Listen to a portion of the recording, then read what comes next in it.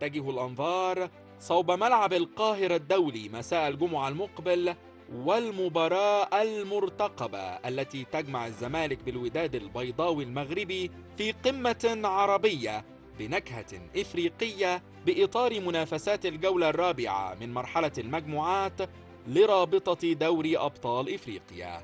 ويخوض البرتغالي مانويل جيسوالدو فيريرا الاختبار الأول له مع الزمالك في ولايته الثانية خلال مباراة الوداد المغربي.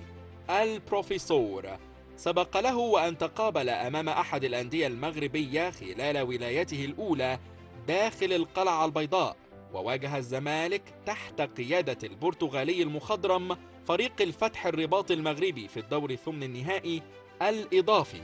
ونجح الفارس الأبيض في ولاية فيريرا في عبور بطل المغرب وبلوغ مرحلة المجموعات عن جدارة.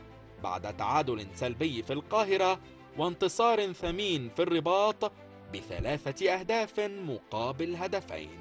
وسجل في مباراة العودة بالمغرب كل من باسم مرسي وعمر جابر وحازم إمام.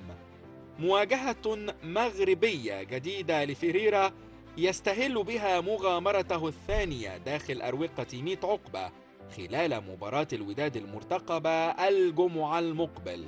من أجل انتصار ينعش آمال وحظوظ فرسان القلعة البيضاء في بلوغ ربع النهائي القاري بالنسخة الجارية من دوري أبطال إفريقيا.